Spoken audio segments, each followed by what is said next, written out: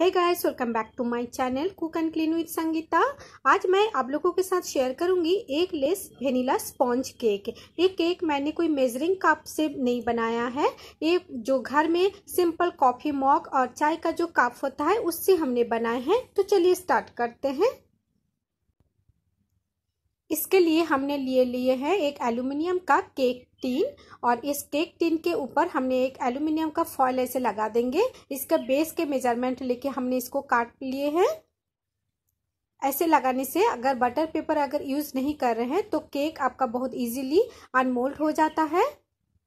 Cake base में चिपकता नहीं है।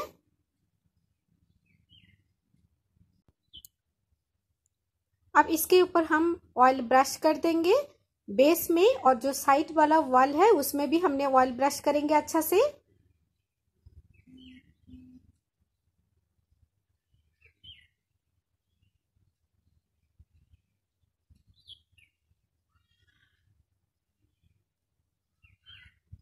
ऐसे ऑयल ब्रश करने से एक बहुत इजीली निकल आता है।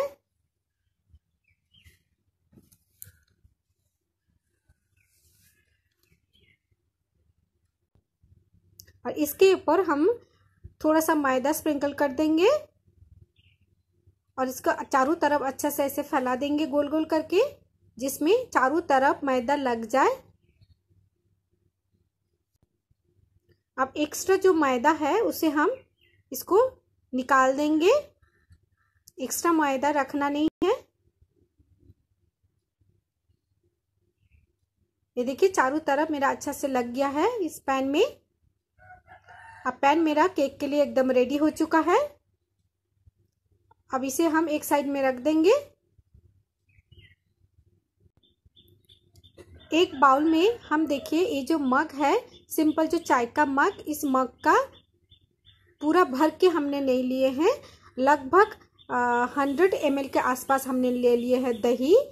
और जो हमने जी जो कॉफ़ी मग लिए हैं, इस कॉफ़ी मग का आधा मग हमने लिए हैं शुगर इस शुगर को हमने पाउडर बना लिया, इसलिए ये इसका वॉल्यूम थोड़ा ज़्यादा हो गया है। मैंने लिया है आधा कप शुगर ये जो बड़ा वाला कॉफ़ी मग आता है, उस कॉफ़ी मग का आधा कप और जो सिंपल चाय का कप है, ये देखिए, ये सिंपल चाय का कप का एक कप हमने दही लिया और एक कप पूरा भर के नहीं, थोड़ा सा हमने खाली रखे, वो आपने देखा ही है वीडियो में। और इसी, उसी कप का ही जितना हमने दही लिए है, उतना ही हमने लिए है रिफाइंड ऑयल। कोई भी ऑयल आप ले सकते हैं रिफाइंड ऑयल ले सकते हैं। मास्टर्ड ऑयल नहीं रिफाइंड ऑयल जिस ऑयल में ज़्यादा स्मेल ना हो, ऐसे ऑयल आप ले सकते हैं। और इसे हम एक हैंड बीटर के थ्रू मेरे पास बीटर इलेक्ट्रिक बीटर नहीं है, इसलिए मैं हैंड बीटर के थ्रू इसे अच्छा से बीट करेंगे।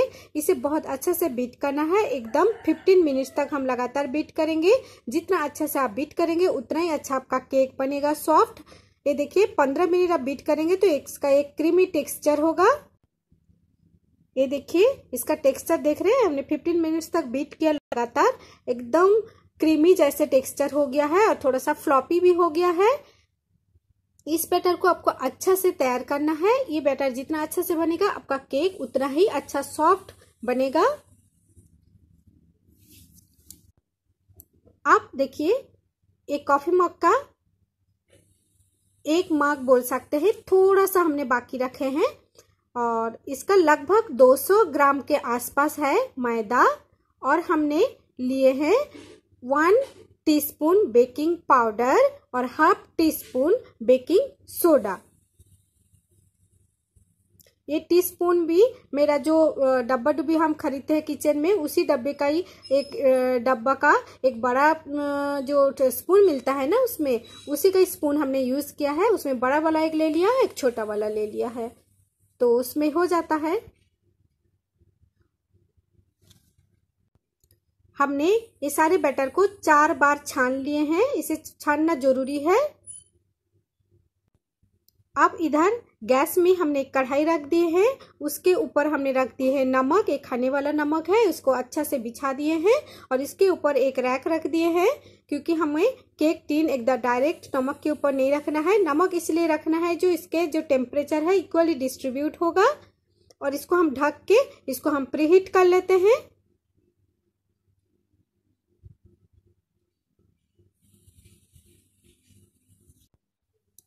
अब इस बैटर में हम जो ड्राई इंग्रेडिएंट है, वो सब डालेंगे। उससे पहले हम डाल देंगे one teaspoon vanilla essence. Vanilla essence डालने से केक का जो स्मेल बहुत अच्छा सा आता है और इस टाइम आप इलायची का पाउडर भी डाल सकते हैं। इलायची का पाउडर डालने से बहुत अच्छा फ्लेवर आता है और इसे अच्छे से हम मिक्स कर देंगे। अब इसमें हम डाल देंगे वन फोर्थ टीस्पून नमक नमक डालने से केक का टेस्ट अच्छा आता है। इसमें हम डाल देंगे जो ड्राई इंग्रेडिएंट है, उसको हम तीन हिस्सों में डालेंगे। फ़र्स्ट हम डालेंगे थोड़ा थोड़ा करके ही डालेंगे। इसे थोड़ा थोड़ा करके मिक्स करना है, नहीं तो ये अच्छा से मिक्स नहीं होगा। और बहुत धीरे धीरे हमको ये मिक्स करना है।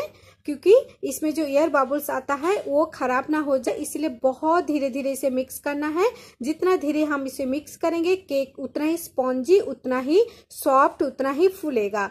ये अच्छा बनता है। अगर ज़्यादा करेंगे तो उतना अच्छा केक फूलेगा नहीं। ये देखिए, दोनों तरफ़, चारों तरफ़ गोल करके बीच में ऐसे काट के इसे घोल बनाएँगे इसका।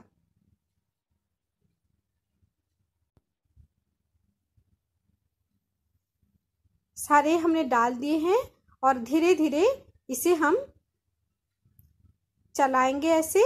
ये देखिए टाइट हो रहा है। इस टाइम हम डालेंगे मिल्क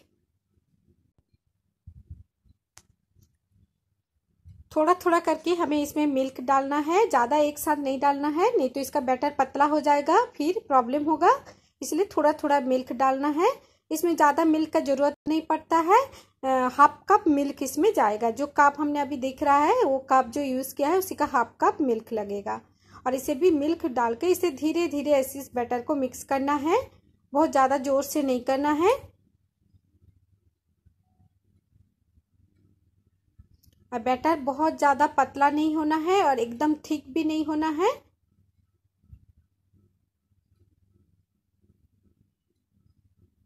फिर थोड़ा थोड़ा हम मिल्क ऐड करके इसको एडजस्ट कर लेंगे।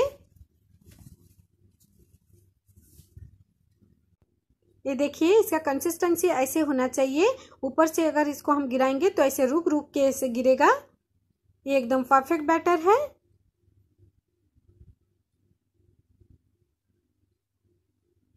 रिबन कंसिस्टेंसी होना चाहिए।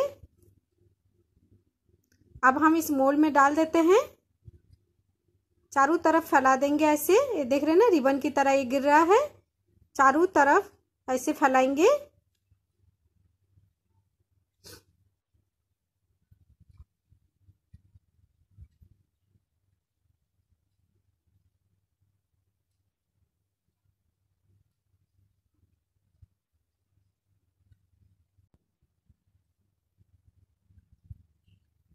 अब हम देखेंगे ये जो कढ़ाई मेरा प्रीहीट हो गया है, इसे हम खोलेंगे। और ये जो केक पैन है, इसको हम दो तीन बार टैप कर लिए हैं। टैप करने के बाद इसे हम कढ़ाई के ऊपर रख देंगे।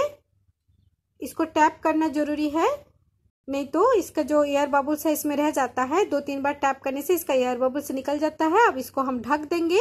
ढक के हम 45 minutes minimum, medium medium to low gas पे इसको पकाएँगे।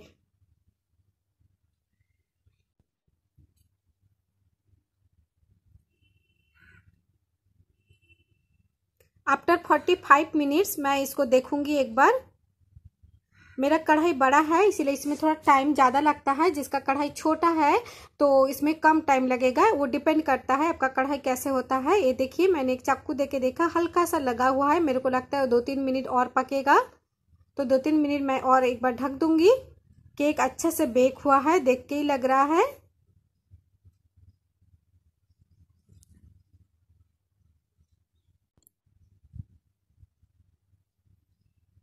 अब फिफ्टी मिनट्स बाद मैं इसको और एक बार देख रही हूँ। हाँ आप एकदम देखिए, एकदम क्लियर निकला है, इसमें कुछ लगा नहीं है।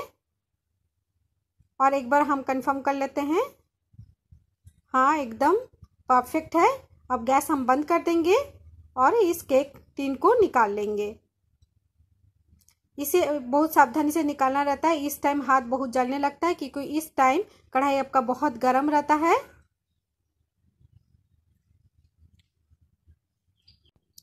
केक बिल्कुल ठंडा कर लिए हैं। केक ठंडा होने के बाद देखिए, साइड साइड ये अपने आप निकलने लगता है। अब हम एक चाकू से साइड साइड ऐसे ढीला कर देंगे। साइड साइड ऐसे हल्का सा ऐसे घुमाएँगे तो ये अपने आप निकल जाएगा। ऐसे भी ये अपने आप छोड़ने लगता है। और केक को बिल्कुल हमने ठंडा कर ली है। केक को ठंडा करना ज़रूरी है, नहीं तो केक अच्छा से निकलेगा नहीं। और ऐसे उल्टा करके हल्का सा टैप कर देंगे धीरे धीरे तो केक बहुत इजीली निकल आएगा।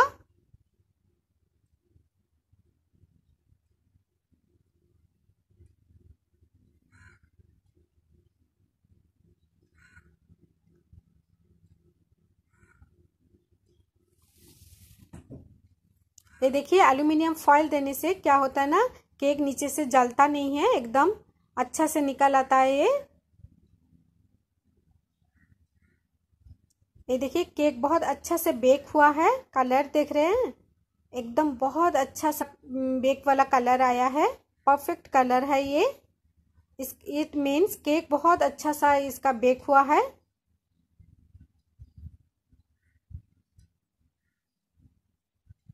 ये देखिए, केक कितना सॉफ्ट बना है। मैं हाथ से प्रेस करूँ तो आपको पता चल रहा होगा।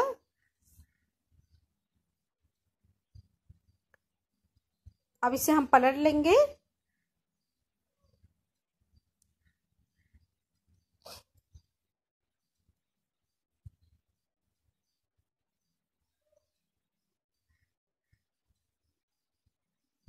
इसका सॉफ्टनेस आपको पता चल रहा होगा।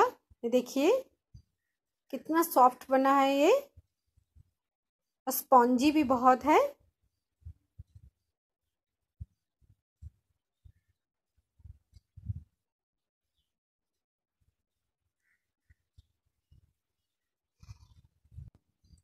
इस केक को हमने काट के भी आपको दिखा देते हैं, ये देखिए।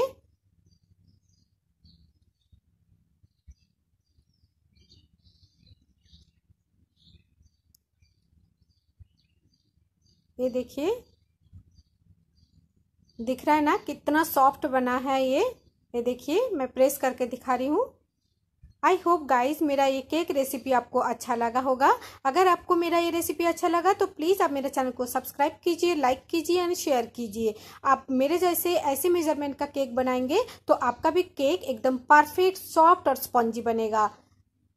हम फिर मिलते हैं और एक न्यू वीडियो के साथ। तब तक के लिए टाटा।